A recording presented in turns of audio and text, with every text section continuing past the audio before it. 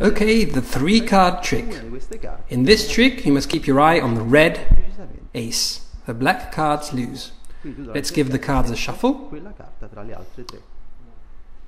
Now remember, the red ace is the winning card. I'll put it here on the right, and the black cards on the left. Where is the red ace?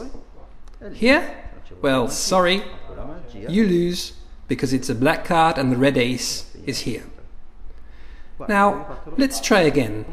Let's give the cards a little shuffle, like this. Keep your eye on the red winning ace.